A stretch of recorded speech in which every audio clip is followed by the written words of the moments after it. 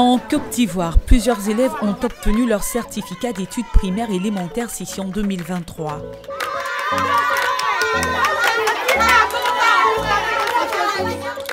Parmi ces élèves, certains ont impressionné leur entourage.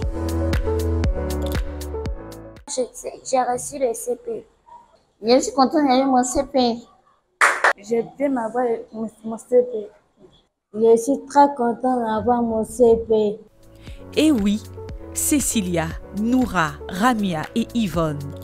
Des élèves souffrant de troubles intellectuels certes, mais qui viennent brillamment de réussir leur examen du E CEPE.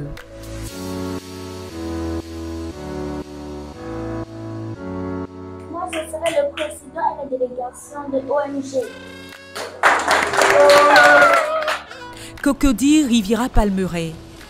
Nous sommes au centre d'accueil d'action médico-psychosociale CAMPS. Depuis le début de l'année, les responsables de ce centre ont pris à bras le corps l'enjeu de cet examen et se sont donnés à fond pour aider leurs candidates à se surpasser. Alors, les résultats sont tombés. Nous avons présenté euh, quatre candidates. Je remercie. Les, quatre candidates sont admises à l'entrée en sixième. Alors, c'est vrai que nous avons des enfants en situation de handicap, des, autistes, des déficients intellec- intellectuels. Mais avec ces enfants, il faut beaucoup de patience, beaucoup de professionnalisme. Et avec ces enfants-là, le suivi n'est pas linéaire comme les autres. Voilà. Avec eux, il faut chaque fois reprendre ce que nous avons fait et pendant plusieurs jours pour que le minimum puisse rester. Voilà. Et avec le renforcement, à la fin de l'année, on obtient des résultats qui sont vraiment satisfaisants. Ils arrivent à retenir beaucoup de choses. Comme l'a dit Elvis, ces résultats satisfaisants sont le processus d'un suivi intense des enseignants. Toute l'année scolaire, il faut dire que nous avons bataillé. Avec eux, ce n'est pas du tout facile. D'abord, il faut d'abord aimer le métier. Voilà. Et comme ce sont des enfants à besoins particuliers, avec eux, nous ne, faisons pas le programme classique. Mais nous faisons, euh, comment dirais-je, nous, essayons de,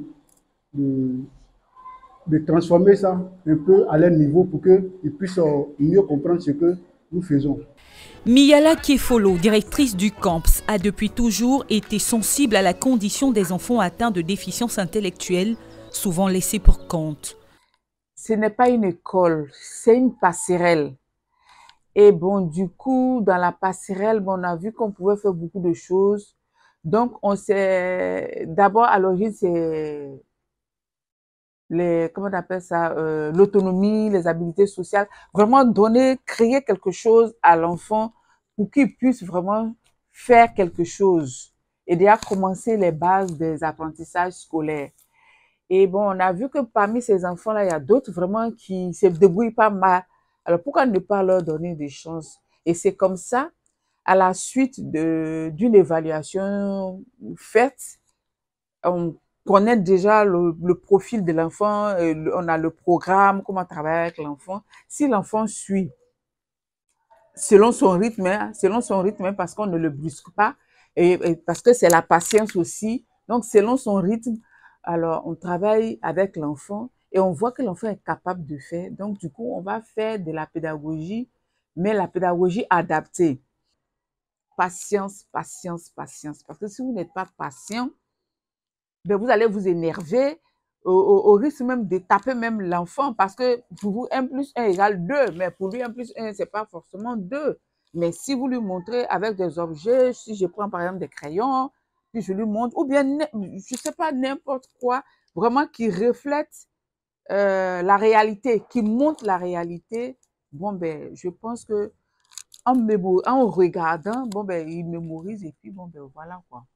Aider les parents à accompagner leurs enfants afin de les amener à sortir le meilleur d'eux reste l'objectif majeur de la fondatrice du CAMPS. deux jours avant, on va avec les enfants dans le centre qui doivent présenter l'examen. On leur explique que voilà, c'est les, les mêmes bancs, c'est les mêmes chaises. Il faut pas avoir peur. C'est vrai que vous allez avoir de nouveaux visages, mais euh, ils sont accompagnés de leur, euh, de leur, de leur enseignant qui reste dans la cour. Et puis, bon, euh, les enfants, bon, font leur examen tranquillement, quoi. Dès l'instant où ils savent que l'enfant a un problème et qu'on leur a dit, c'est vérifié, c'est justifié que vraiment cet enfant est un, enfant a besoin particulier. Moi, je dis aux parents de ne pas attendre. La prise en charge précoce est très, très, très, très, très rentable. La prise en charge est très, très rentable. Et malheureusement, euh, ici, euh, la population cible, il y a le nombre d'enfants euh, qui viennent ici, ce sont des enfants qui sont passés déjà quelque part. Donc, du coup, quand ils arrivent, ils ont entre 8 et 15 ans, même voire au-delà. Donc, vous voyez, on est obligé de... C'est pourquoi l'évaluation à sa place, elle est indispensable et c'est la condition sine qua non chez moi pour pouvoir prendre un enfant. Parce que plus j'évalue l'enfant, plus je sais son niveau, je connais ses capacités, je connais ses faiblesses et je sais à partir de quel moment est-ce qu'on doit faire ci, on doit faire ça. L'école peut être un lieu de socialisation et d'apprentissage pour les enfants à mobilité intellectuelle réduite, à condition qu'ils y soient reçus, aimés et surtout bien accompagnés.